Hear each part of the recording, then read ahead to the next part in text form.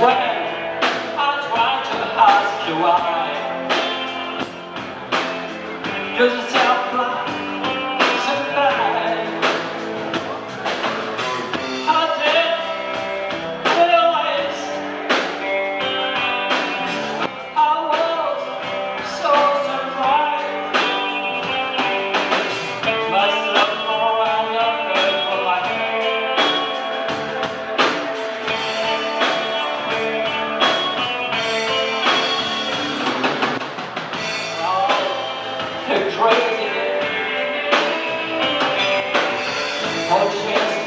Q&A